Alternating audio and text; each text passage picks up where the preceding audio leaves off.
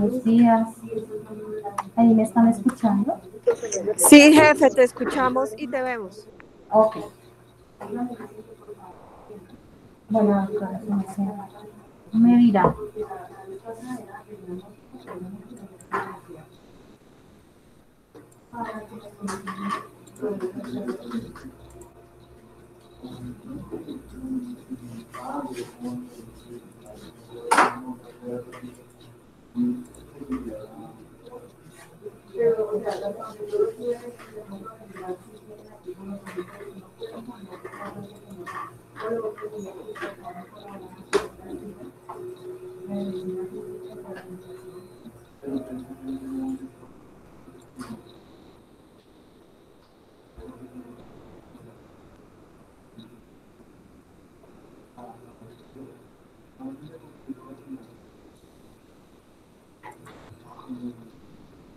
Doctora Diana, me confirma si está viendo mi presentación. O se me dirá eh, si iniciamos. Sí, jefe, por favor, te estamos esperando. Bueno, entonces, pues, buenos días para todos. Eh, para las personas que no me conocen, mi nombre es Julia Aranda. Hago parte del grupo de seguridad clínica liderado por la doctora Diana Chávez y la jefe Ana María. Entonces, eh, antes de iniciar, quiero agradecerle a la doctora Diana Arias por este espacio. Eh, la idea es contarles un poco de eh, nuestro programa y de, de, lo que hemos venido desarrollando pues, en el hospital. Entonces, pues, quiero contarles que nuestra gestión clínica excelente y segura, como así está denominada en la acreditación, es uno de los ejes y pues eh, nosotros hemos venido eh, desarrollando a través de, estos 10 años que tiene ya el programa, hemos venido trabajando y fortaleciendo el programa. Y pues eh, en las visitas de acreditación así pues lo, lo hemos mostrado. Entonces como les, les comentaba, somos un eje de la acreditación. Entonces pues para que tengamos como presente.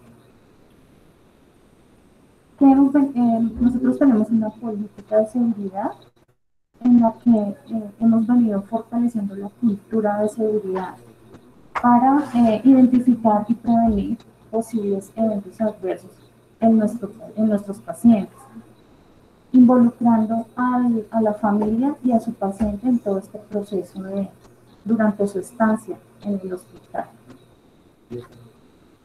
¿Cuáles son los componentes de nuestro programa?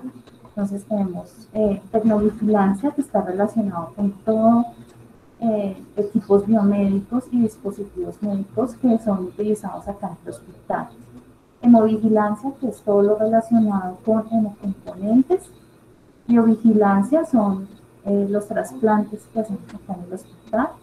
Control y prevención de infecciones, liderado pues por el Comité de Infecciones. Farmacovigilancia, relacionado con todo lo de medicamentos, reactivo con todos nuestros eh, laboratorios, patología y banco de sangre, que son los que utilizan reactivos, y seguridad y gestión clínica, que no es nada más que la, eh, verificación de la adherencia de las guías y protocolos de práctica clínica. ¿Qué es un evento adverso? El evento adverso tiene que tener tres características que haya sido no intencional, que haya sido producto de la atención en salud y que le haya provocado un daño al paciente. Ya cuando se, se toma eh, la situación de riesgo interiormente acá en, el programa, hacemos la, el análisis y eh, la clasificación. Dentro de la clasificación tenemos los eventos adversos prevenibles, los no prevenibles, las complicaciones y los incidentes. Todos estamos, todos somos eh, responsables de, eh, si identificamos una situación de riesgo, reportar. ¿Cómo, la podemos, ¿Cómo podemos reportar estas situaciones de riesgo? Eh, en la plataforma Almera hay un para reportar los eventos adversos. Por correo electrónico lo hacemos en la eh, calidad arroba hospital o directamente acá en la oficina de calidad podemos colocar eh, el reporte de la situación de riesgo. ¿Qué datos deben contener este reporte? Es importante tener el nombre completo del paciente, el documento, la fecha de nacimiento y el lugar donde ocurrió la situación de riesgo. Que hemos venido fortaleciendo. Entonces, hemos, hemos fortalecido los equipos para el análisis de los eventos adversos. Entonces, eh, generalmente hacemos una, una reunión interdisciplinaria para llevar a cabo el análisis y eh, se han venido eh, fortaleciendo con alimentando este reporte, teniendo en cuenta, hacemos una breve, un breve resumen de la atención del paciente, unos factores contributivos que llevaron a que este evento se presentara. También, eh, si se genera un plan de mejora, entonces estamos apuntando la evidencia, las actas de las reuniones y al cumplimiento de esas acciones que se establecieron en los planes de mejora. Hemos venido fortaleciendo o eh, implementando nuestros paquetes instruccionales. ¿Cuáles son, ¿Cuáles son estos paquetes? Se los voy a nombrar así eh, muy rápidamente, pero pues eh, se van a dar cuenta que nos aplican, nos aplican todo, todo el tiempo. Entonces tenemos unos que son pues para la actuación de, de nuestro personal, pues, ahí está integrado el consentimiento informado, toda la, toda la parte de comunicación con el paciente y su familia, prevenir el cansancio en el personal de salud, la correcta identificación de, nuestro, de nuestros pacientes, la, la, atención de toda la población de, en pediatría, prevenir las complicaciones asociadas a las transfusiones o componentes.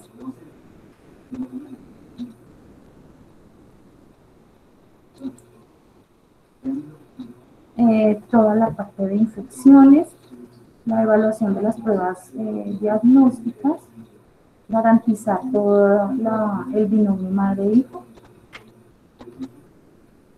la correcta identificación en, las muestras de laboratorio, prevención de la malnutrición, las úlceras por presión, eh, reducir las complicaciones en pacientes eh, cardiovasculares, la prevención de caídas, eh, la atención a los pacientes con enfermedad mental, todo el manejo correcto de medicamentos, alertas de medicamentos, la seguridad en nuestros pacientes quirúrgicos, la seguridad de los pacientes críticos en la unidad de cuidado intensivo, el autocuidado en la seguridad del paciente. Nosotros contamos con un monitoreo y una evaluación de los eventos adversos y pues trabajamos en, en una atención segura para nuestros eh, pacientes y pues por ser un, hospital universitario pues tenemos un modelo pedagógico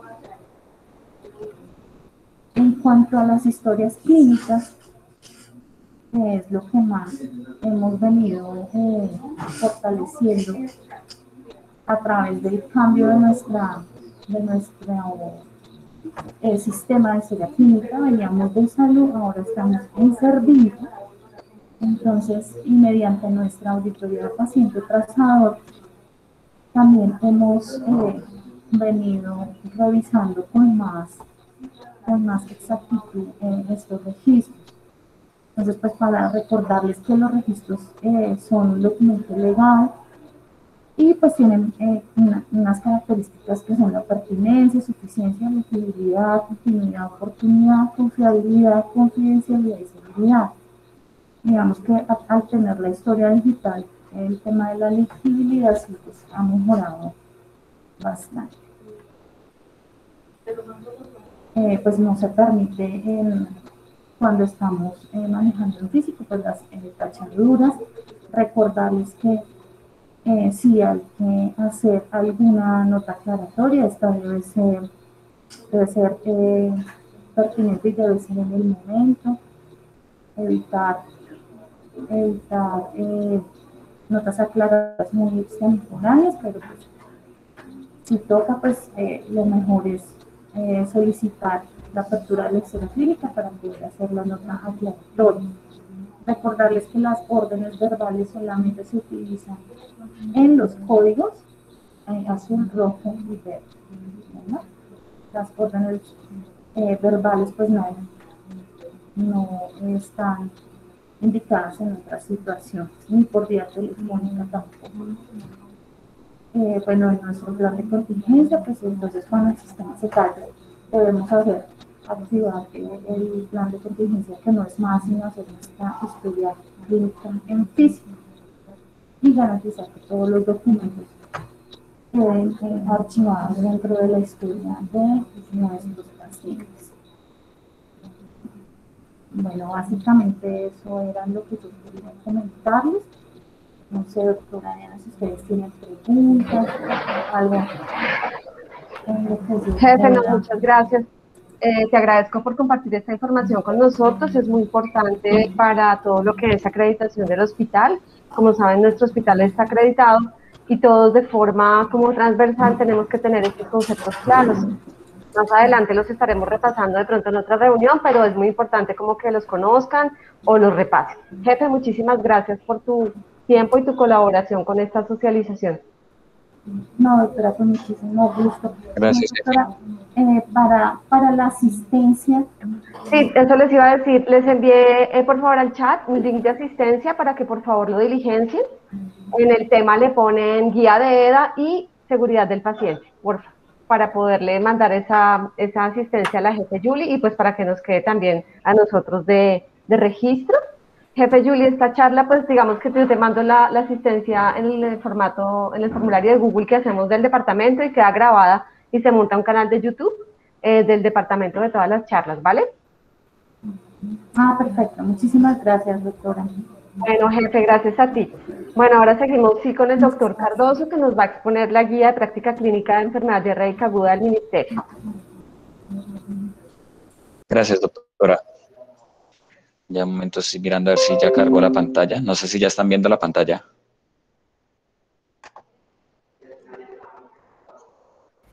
Sí, señor. Listo, vale. Bueno, en premura del tiempo voy a arrancar. Bueno, muy buenos días. Mi nombre es Nicolás Cardoso. Eh, ya algunos me conocen, otros no, otros tienen el placer de no conocerme. Eh, bueno, voy a compartirles entonces eh, las guías de práctica clínica de enfermedad diarreica aguda. Esto, pues, en base a los, a los lineamientos de la guía, la guía del 2013. Y, voy a hacer unas pequeñas anotaciones. Voy a tratar de ser lo más fiel posible a la guía. Bueno, entonces, con respecto a la parte de, de una guía, entonces, pues, ustedes dirán, bueno, hay muchos artículos de diarrea, ya hay muchas otras, pero, pues, ¿para qué una guía? La idea de estas guías es que, es que digamos que son una actualización o son un contexto de los hallazgos y de los estudios que hay, de toda la información que hay para, nuestro, para, para Colombia, ¿sí? Entonces, la idea es que uno tenga la información que se ofrece o que hay en la literatura para que esa información y estos resultados se puedan incluir en el plan de salud. La idea es que uno eh, vea, unos componentes productivos y unos componentes distributivos respecto al componente productivo. Entonces, lo que, lo que queremos es como eh, encontrar la mejor manera como de dar un cuidado o de dar un, tratamiento o un manejo para un problema de salud específico. Y el componente distributivo, entonces, lo que vamos a hacer es como eh, priorizar o asignar el recurso de una manera racional hacia problemas que compiten entre sí, en pocas palabras. un medicamento, pues tiene una hacia qué patologías me podría serle más útil este medicamento. ¿Sí? Y pues, eh, como quien dice, es ese impacto de versión que trabajamos en el tratamiento, una mejor respuesta, o lo que se llama eh, en, epidemiológicamente hablando, entonces, un número que está a tratar o, una tasa de disminución de síntomas o algo así. Entonces, esa es la idea. teniendo toda esta información, nosotros lo que vamos a, hacer es una estimación con respecto a la eficacia, a la efectividad, a la seguridad y a la factibilidad de todos estos, digamos que, manejos que salen en los estudios para poder decir esto me sirve o esto no me sirve y podemos instaurarlo o incluirlo en el plan de salud. Respecto a la importancia eh, y de por qué pues eh, vamos a pensar en EDA, pues hay dos componentes bastante grandes.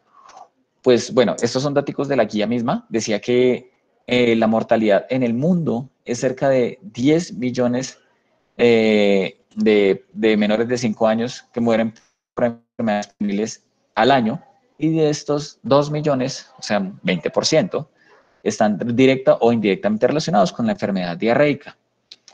Cuando nos vamos un poquito a la parte de Colombia, eh, esto es para el 2013, se ha encontrado que la mortalidad había sido de 336 niños por enfermedad diarreica aguda y 374 niños relacionados con problemas nutricionales. Eh, esto es muy importante, toda la parte de la diarrea es muy importante y pues mejorar eso, que nosotros pongamos nuestra, digamos, nuestro granito en, en hacer una especie de mortalidad, esto es algo muy importante porque de hecho eso es uno de los objetivos del milenio. El objetivo del milenio era reducir en dos terceras partes entre 1900 y 2015 la mortalidad de los niños menores de 5 años. Entonces, pues, eh, como quien dice, a medida que nosotros mejoremos eso, puede mejorar muchas cosas con respecto a nuestro país y más que todo en la parte de salud y respecto a la visión que nos tiene la, la misma OMS a nosotros. Eh, hay componentes importantes, aproximadamente 1.100 millones de personas en el mundo no cuentan con acceso a una fuente de agua tratada, el cual ya les voy a contar la relación. Cerca de 842 mil personas mueren cada año de diarrea por, este, por estas cuestiones. Y pues la diarrea es ampliamente prevenible. Los manejos para la diarrea son, digamos que relativamente sencillos y económicos.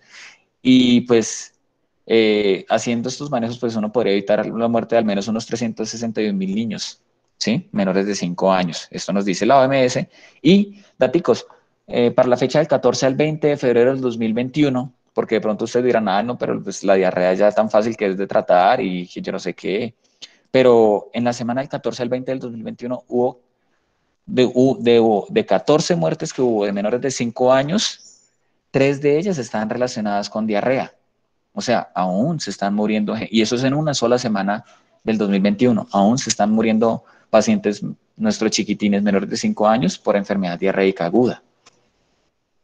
¿Cuáles son los objetivos? Van a juntárselos rápidos, más, más que todo es como orientar sobre el diagnóstico, tratamiento farmacológico no farmacológico, ver cuál es la mejor evidencia, costo-efectividad, eh, digamos que poner un estándar en las prácticas, determinar las opciones costo efectivas y la idea es que finalmente todo esto eh, mejoremos los indicadores de las medidas, no exactamente, no necesariamente farmacológicas, sino también las intervenciones que son, entre comillas, eso que es charlado, eso de decirle, mamá, mire que usted tiene que hacer esto, esto, esto. Entonces, esas, eso, que mejoremos eso, nos va a también mejorar mm, a la postre, pues, la, eh, digamos que la respuesta o la intervención que nosotros tengamos con respecto a la diarrea a la enfermedad diarreica aguda. Estas son las tablas de recomendaciones, entonces, eh, rapidito, fuerte a favor, fuerte en contra, débil a favor y débil en contra, y ya les voy a mostrar que, cómo es que cada recomendación tiene, pues, eh, algún tipo, eh, cada apunte tiene su grado de recomendación, ¿sí? Entonces, pues, aquí está un poquito el, descrito del, del grado de recomendación. Entonces, obviamente, pues, si es fuerte a favor, pues lo vamos a recomendar y si es fuerte en contra, no lo vamos a recomendar. Y para las otras dos, generalmente cuando es débil a favor, tenemos que mirar a ver el contexto, a ver si, si, no, se, si no hay una contraindicación importante. ¿Listo? Entonces, primero, eh, uno de los puntos y es de cómo, eh, de cómo describen eh, o de cómo se define la enfermedad de diarreica aguda. Entonces, se define como un cambio en la, en la consistencia habitual de las deposiciones, que éstas tengan una frecuencia de tres o más deposiciones en 24 horas y que su tiempo de duración finalmente sea menos de 14 días, porque si no ya entraríamos entrando a una enfermedad diarreica persistente o a una diarrea persistente. Eh, con respecto a la parte de los menores de 5 años y por qué tenemos eh, este grupo como, como, como quien dice, como en parte del estudio, es porque este grupo está bastante más predispuesto que los demás grupos primero a enfermarse más, o sea, a que les dé más, y pues si, no, si mal lo recuerdan lo de los picos de la, del rotavirus, que era eh, cercano a los seis meses, que era cuando estamos haciendo la lactación, y pero además de eso también tienen más riesgo de complicarse. ¿Listo? Y es un punto de pronto muy importante que no lo dice tan claro, es que recuerden que cuando tenemos niños menores de dos meses, ya una diarrea que nos dure más de siete días, ya, de uno, ya no debe considerarse simplemente una diarrea aguda. Y eso es un signo de alerta para que un paciente se pueda complicar fácilmente. Respecto a la parte de factores de riesgo, pues vamos a encontrar tanto factores protectores y tanto factores de riesgo. Entre los factores protectores, lactancia materna, que la mamita tenga mejor educación, que tenga un buen acceso a agua, uso de inodoros, jarras con tapa, agua hervida, ¿sí? Más como muchas medidas de, medidas de educación y de salubridad. Cuando tenemos la parte de los factores de riesgo, entonces ausencia de la lactancia materna, pues en contraparte de lo anterior que le estábamos contando, los puntos grandes, el tabaquismo, el, pues las medidas de higiene no adecuadas como un agua contaminada, que tengan una inadecuada eliminación de excretas, la eliminación de basuras, que estén cerca de pronto a fuentes de agua contaminadas. Y hay otros factores que digamos son un poco más sociales, como de pronto la, la depresión materna, que la mamita sea joven, ¿sí? Eh, que tenga desnutrición el paciente. Entonces, todos esos factores que van a ser socioambientales también pueden, pueden ver afectadas o pueden causar más fácil una enfermedad diarreica aguda en un paciente. De este punto, es muy común en los niños menores de 5 años que puedan llegar a tener diarrea. Eh, incluso, pues, hay literatura que dice que prácticamente todo niño ha sufrido en algún momento en esta etapa de la edad. Entonces, sí es algo muy importante siempre tenerlo en cuenta.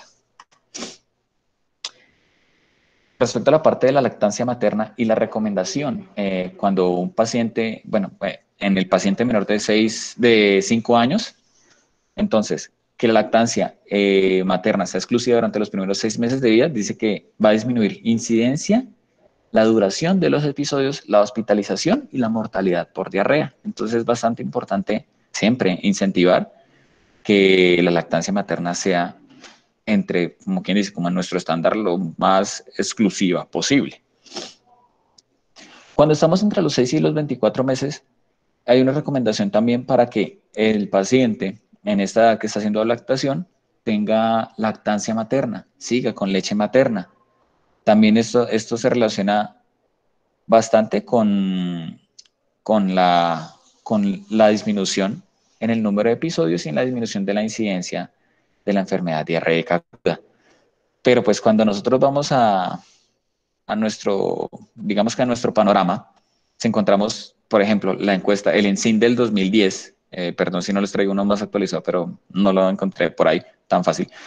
En el ENSIN del 2010, pues eh, el promedio de duración de lactancia materna en Colombia está entre 1.7 para lactancia materna exclusiva y 2.7 meses para lactancia eh, materna predominante, entonces es bastante bajo. Entonces, por eso tenemos que tender a recomendar bastante y a mejorar mucho esta cuestión, a ser un poco más claros con la información de la lactancia a la mamá. Cuando estamos en la parte de aún de prevención de que no le dé diarrea a nuestro paciente y hablan de la parte de suplementos de nutrientes, eh, con respecto a la parte de vitamina A, eh, hay una recomendación que es débil respecto a la parte de no recomendarla, de hecho, ellos asocian eh, eh, que el aporte de micronutrientes de vitamina A se relacionaba mucho con abombamiento de fontanela. Entonces, eh, mm, como que no es la recomendación decir simplemente que si el paciente tiene, tiene, es menor de 5 años y le pueda suplirle vitamina A para que no le diarrea, no es la mejor recomendación. Respecto a la parte de suplemento de zinc, para suplementar, o sea, y para prevenir, por decirlo así, sí hay relación de que un paciente que suplementa con zinc disminuye la incidencia de EDA eh, y más que todo en cuando son pacientes con bajo peso al nacer o que tienen algún déficit nutricional, ¿sí? Entonces, sí uno recomienda que en estos pacientes, en estos casos, pues uno pueda eh, hacer un suplemento de zinc. y cómo los vamos a suplementar. Entonces la idea es que sea 5 miligramos al día de zinc elemental en menores de 6 meses y 10 miligramos al día en mayores de 6 meses. Y esto ellos recomiendan una duración de 4 meses y pues, como quien dice, ir haciendo el seguimiento de esto. Con respecto a la parte de probióticos o de simbióticos, cuando estamos todavía en la parte de prevención, hay una recomendación en contra de que no utilicemos probióticos para decir que esto le va a afectar o va a hacer que el niño esto tenga menos episodios de diarrea. ¿Listo? Eh, con respecto a la parte de los, de, los, de los riesgos de que tenga, reciban algún tipo de probiótico o no, generalmente todo está eh, con un, sin evidencia. Hay una, hay una eh, evidencia débil respecto al, al, Bacillus lactis, que es del un, un OR del 0.9, entonces, y una P de 0.02, pero pues no es la mejor evidencia. Entonces, pues, mm, la idea no es recomendarlo para prevención. Aquí vemos un poquito como de la parte de, los probióticos, esto es otro estudio, de cuáles, cuáles tipos de probióticos o cuáles, eh, sí, cuáles cepas se relacionan con una mejoría respecto a algunos... Estamos en diarrea infecciosa aguda, pero esto ya es cuando se instaura la diarrea, entre los cuales tenemos el lactobacillus rhamnosus y el Saccharomyces boulardii, que es una recomendación en una disminución de duración de síntomas. Entonces, eh, pero esto es más adelante también está. Entonces, podríamos pensar que en una diarrea infecciosa aguda que nosotros pensamos que es viral, Mm, si tú quieres ir de más, si quieres ir más adelante, si tú quieres decirle a mamá como mamá, pues si quieres mejorarlo, puedes iniciarle algo que tenga o o volardi, si hay cierta recomendación. Con respecto a la parte de vacunación, entonces el rotavirus es uno de los principales agentes etiológicos que está relacionado con la enfermedad diarreica aguda. Eh, en números dice que puede causar cerca del 40% de las diarreas de las enfermedades diarreicas que causan hospitalización en los pacientes menores de 5 años. Entonces es bastante importante siempre tenerlo en cuenta. Y por eso está instaurado entonces que cuando nosotros estemos, eh, y pues eh, sea justo de que la recomendación de la vacunación para el rotavirus, eh, pues se haga, entre comillas, pues en los seis meses, en los primeros seis meses de vida. Y pues la idea es que eh, ellas tienden a disminuir la incidencia de enfermedad diarreica aguda, pero más importante, la incidencia de enfermedades diarreicas agudas que causen hospitalización. ¿Listo? Respecto a la parte de medidas de higiene, pues, eh, o sea, ahí sí como quien dice, no hay, no creo que sea algo de explicar tanto, pero pues el hacer recomendaciones y educación a la mamá de, de que tenga un mejor aseo, pues eh, reduce bastante los episodios de enfermedad diarreica aguda. Pues no creo que sea necesario explicarlo tanto. Con respecto a, las prácticas educativas que nos recomiendan, ya diciendo lo anterior, entonces, eh, cuando nosotros hacemos esas prácticas eh, en comunidades, ¿sí? comunidades vulnerables, también eh, se ha notado que generan impacto lo que es cartillas, folletos, tarjetas informativas. Para estos mismos fines también tienen un muy buen impacto y pues las preguntas abiertas y verificarle como que si tienen dudas y todo esto, pues, pues, tiene una recomendación, es débil, pero también tiene una buena recomendación para poder realizarlas. Entonces, siempre que tengamos la oportunidad de educar, y más si son comunidades que uno sospecha que tienen unas condiciones de salud, de higiene, digo, que no sean tan buenas o que sean comunidades de pronto que viven al lado de un río, sí sería bueno siempre tener esas estrategias y pues ya me, me diría me, ah, nos ampliaría más de pronto la doctora Narváez en algún momento de esa parte comunitaria. ¿Listo? Con respecto a la parte de los factores de riesgo para que un paciente pueda complicarse por diarrea, entonces podemos tener tres desenlaces que no nos gustarían. Uno es la muerte por diarrea, la otra es que el paciente se deshidrate y pues este paciente terminará, eh, terminará hospitalizado o que puedan desarrollar diarrea persistente. Entonces recordemos que diarrea persistente iba a ser eh, la presencia de enfermedad diarreica aguda, de enfermedad diarreica por más de 14 días, o si tenemos un paciente que es menor de dos meses, la podemos comenzar a considerar después de 7 días. ¿Listo? Entonces, con respecto a la parte del, aumentar el riesgo de muerte por diarrea, entonces vamos a encontrar que son diarreas que se presentan en pacientes menores de 3 meses, que encontremos edema a nivel de los miembros inferiores, sexo femenino, diarrea invasora, que esté desnutrido, que tenga un proceso eh, infeccioso mayor asociado en otro, en otro sistema, eh, que haya tenido hospitalizaciones previas o que esté deshidratado de moderada a grave. Respecto a la parte de mortalidad, entonces vamos a encontrar unos ORs tan altos como hasta de 10 si un paciente es menor de 6 meses versus a otro que le dé diarrea, entonces pues, tiene un riesgo de 10 veces incluso. Si el cultivo de sangre es positivo, los ORs vienen siendo de 4 o 6, y si el paciente tiene una sepsis, el, el, OR versus otras pacientes que no tengan eso y tengan diarrea de 37. Entonces es, son ORs bastante altos, bastante altos. Respecto a la parte de los factores de riesgo que aumentan para la parte de deshidratación, entonces que la mamita le diga, no, es que no le estoy dando leche materna porque está con diarrea, entonces le estoy dando otra cosa. Que la lactancia materna no haya sido exclusiva por, eh, en un paciente que es menor de tres meses, que no esté siendo exclusiva que el paciente sea menor de un año o incluso aún más si es menor de seis meses, antecedente bajo peso al nacer, que haya tenido cinco más vómitos en las últimas cuatro horas, también desnutrición o que tenga algunas otras condiciones adversas en el hogar.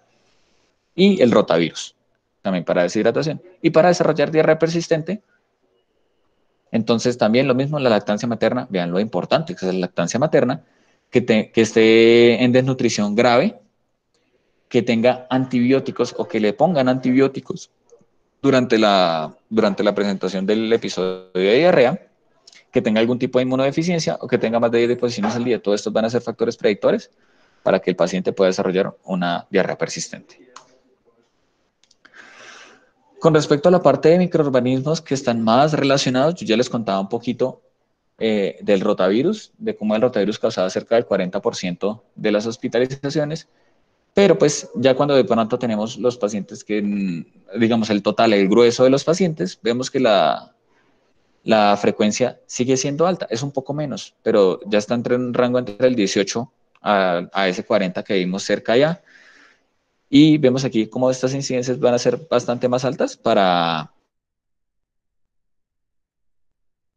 Entonces, ahí es cuando uno encuentra como de que no siempre la idea es pensar en antibiótico y la idea no es eh, ver, decir sangre y antibiótico. ¿Listo? Con respecto a la parte de las bacterias más relacionadas, entonces vamos a encontrar el E. coli. Y muchas veces, en el grueso de los casos, eh, digamos que o no se estudia porque no es importante o porque resolvió, o porque le hicieron un copro, o le hicieron un, o alguna otra cosa y no salió nada importante. Entonces, hay un grueso de los pacientes que tienen enfermedad diarreica aguda que no se les encuentra la, la etiología. Tenemos un paciente, listo, y tiene diarrea, entonces, y nos está en consulta. ¿A quiénes le pedimos exámenes o qué les pedimos? ¿Listo?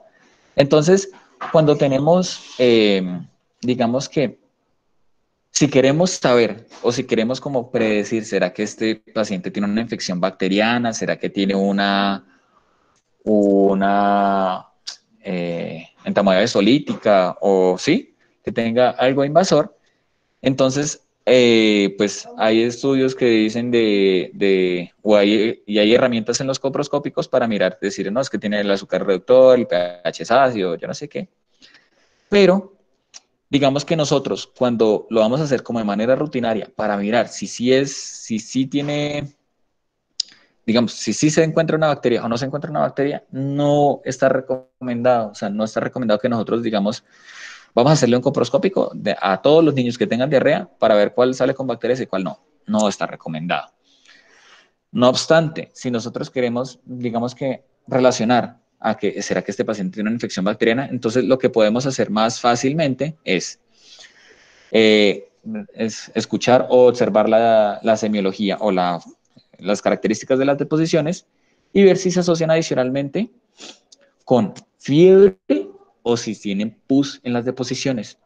Digamos que este, este aspecto, a pesar de que, de que sea una recomendación de él, sí está bastante, bastante recomendado. Porque si les, les cuento respecto a los exámenes del coproscópico y la sensibilidad que tienen para detectar, detectar infecciones bacterianas, digamos, los leucocitos mayores de 5 tienen una sensibilidad de 63 y una especificidad del 84 La sangre oculta tiene una sensibilidad del 39 y tiene una especificidad del 70. Y la lactoferrina tiene una muy buena sensibilidad del 100%, pero la especificidad es bastante baja. Entonces, no es como lo mejor para decir, voy a hacer aquí un, un tamizaje y voy a mirar quiénes tienen bacterias y quiénes no tienen bacterias. Otros estudios que se, que se han descrito, entonces, es el fil array gastrointestinal. Tiene una muy buena sensibilidad y una muy buena especificidad. Eh, y pues, obviamente, versus cultivo es mucho más rápido, pero tiene su, su digamos que su componente de costo.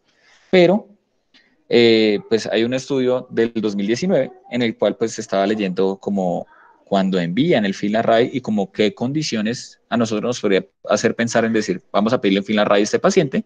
Entonces la idea es que eh, nosotros podríamos pedir fil array gastrointestinal si un paciente tiene un brote, eh, si hay un brote de diarrea en el hospital, si es un paciente que de pronto tiene diarrea, pero además de eso tiene un síndrome hemolítico urémico, si es un paciente que tiene disentería o si tiene eh, y tiene fiebre adicional, o si de pronto sospechamos que es un paciente, bueno, y también el caso, es un, digamos, un paciente que los entró por otra causa, pero sale de la UCI con diarrea. Entonces, ese tipo de pacientes debería tener un filo gastrointestinal. Y pues todo esto también relacionado con las infecciones por Clostridium difficile. Respecto a la parte de rutina, entonces, eh, solicitud rutinaria de, coprológico, coproscópico o coprocultivo en los niños, pues no, no, o sea, no se debe recomendar eh, que sea de rutina, siempre consideremos primero la parte de la clínica. Considerar la solicitud de un coproscópico en, digamos que en pacientes que ya tengan diarrea hace más de siete días, entonces, o sí lo podemos pensar, o en caso de diarrea con sangre macroscópica, entonces hay una recomendación, podríamos solicitarlo. Y eh, si nosotros vemos un paciente que tiene diarrea, ha tenido fiebre y tiene mal aspecto, este paciente debería, eh, a este paciente debería solicitarse un coprocultivo. ¿Listo? Otros exámenes que se pueden solicitar es eh, medir electrolitos y toda esta cuestión, pero estos son más relacionados con dos cosas. Uno con la parte de deshidratación y otra, y pues en esta deshidratación hay algo que se llama la deshidratación hipernatrémica, entonces van a ser estos pacientes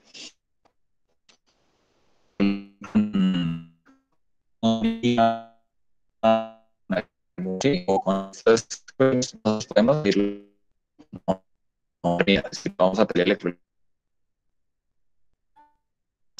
Nicolás, no te, no te bien. ¿Te escuchas como un robot? No sé si soy solo yo o, o lo están escuchando bien los demás. Confirman, porfa.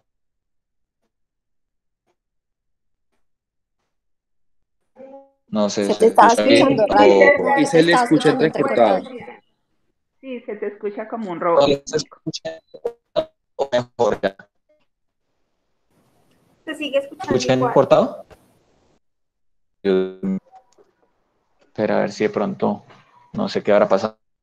Ahí me escuchan mejor, me escuchan igual. Mejoró. ¿Mejoró un poquito?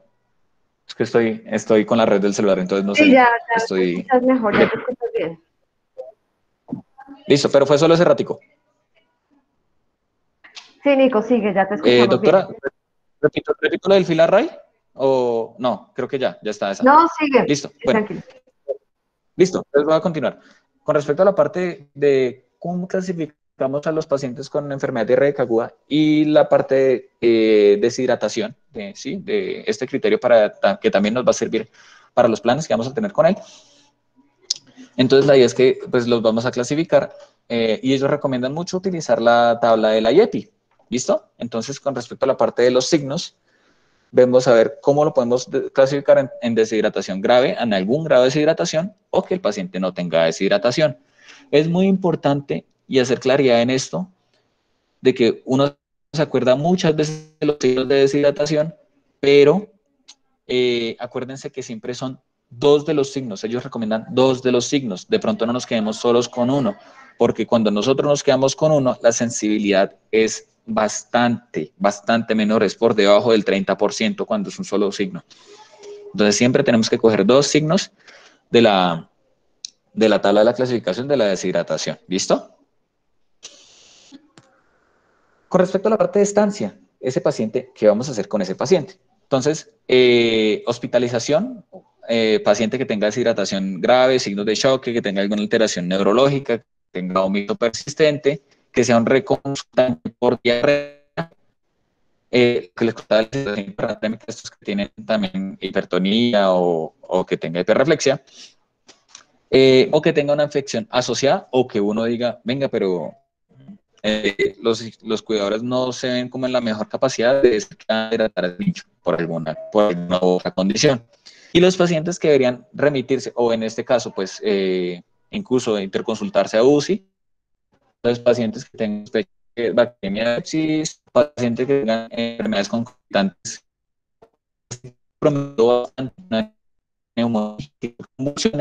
paciente que tenga un gasto fecal elevado y que tú a pesar de la hidratación oral o incluso IV muchas veces, pues eh, persiste como muy deshidratado o que no, o que está muy decaído, entonces estos pacientes deberían eh, remitirse en el caso que estemos en, en, un segundo nivel, por ejemplo, y que no tengamos UCI, o si tenemos UCI, eh, comentarse a UCI. Con respecto a la parte de egreso, entonces el paciente tiene que irse del hospital hidratado, tolerando alimento, con un cuidador que sea bastante responsable, que conozca los signos de alarma y cuándo reconsultar, que, que se tengan las herramientas para poder continuar la hidratación en casa y que no tenga, digamos, una comorbilidad aguda sin tratar, como una neumonía, por ejemplo.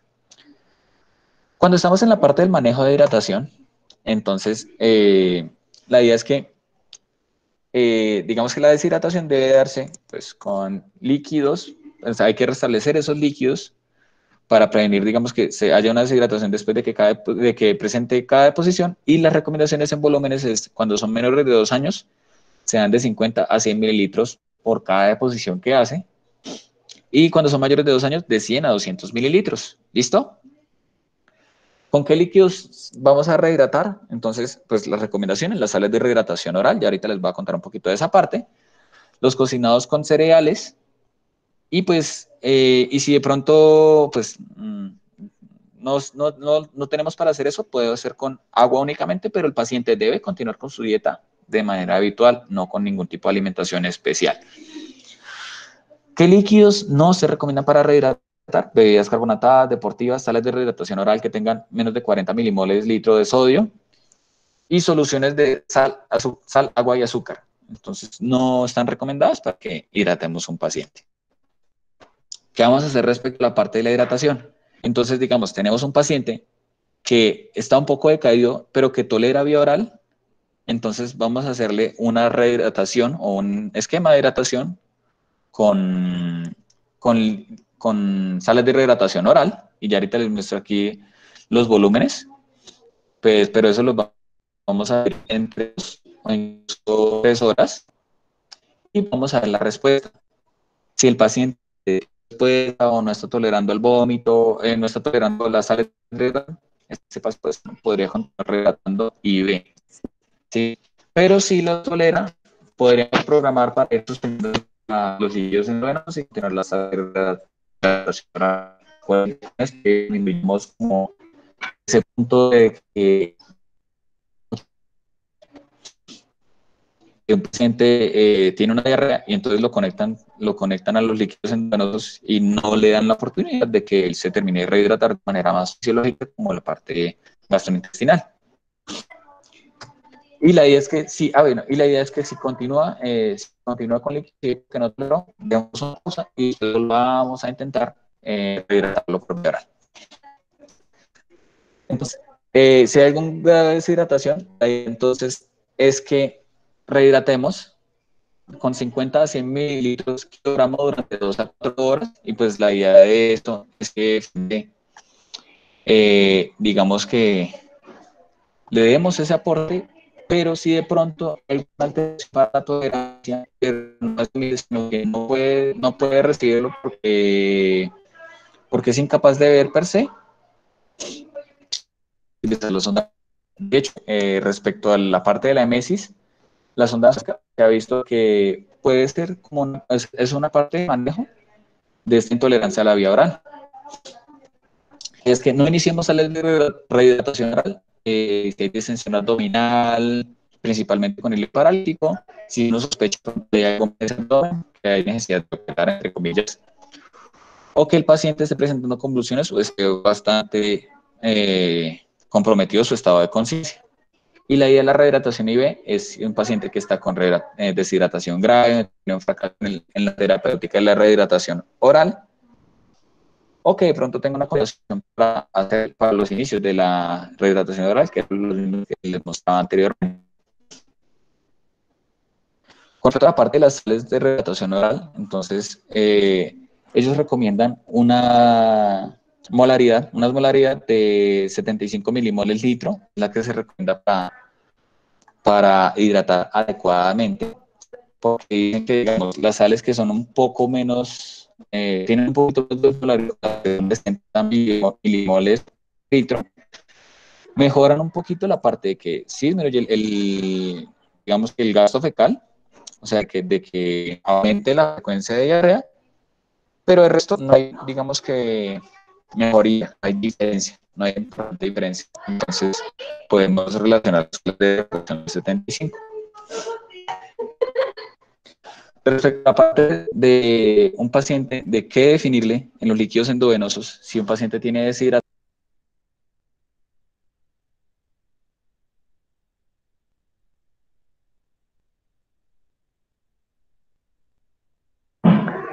Nicolás, te perdimos.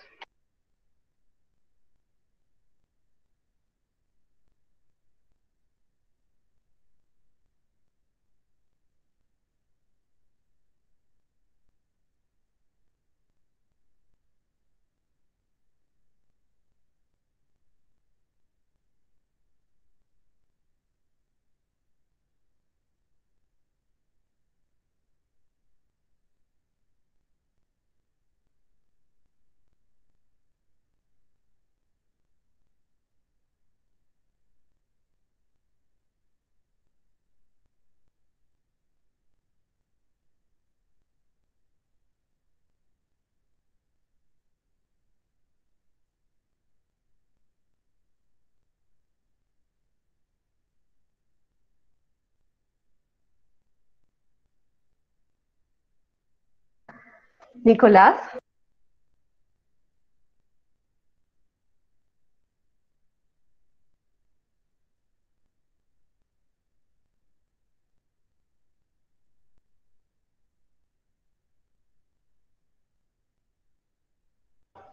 ¿Alguien está con Nicolás para que le, avise que, se cayó la conexión?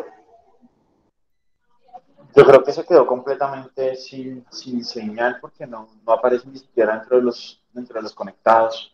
No sé desde dónde esté conectado él. Bueno, esperémoslo dos minuticos y si no, pues dejamos hasta ahí porque ya faltan 10 para las 8.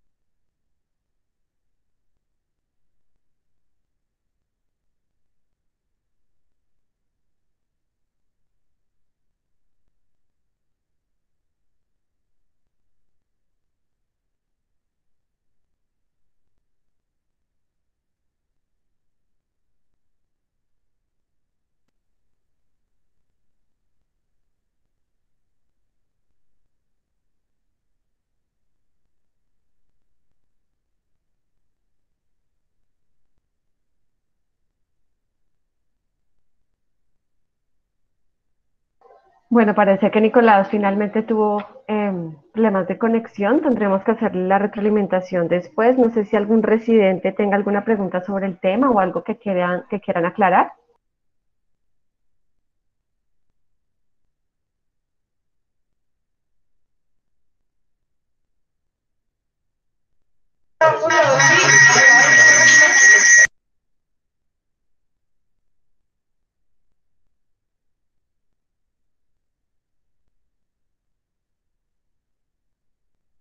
O si algún profesor quiere hacer algún comentario sobre el tema.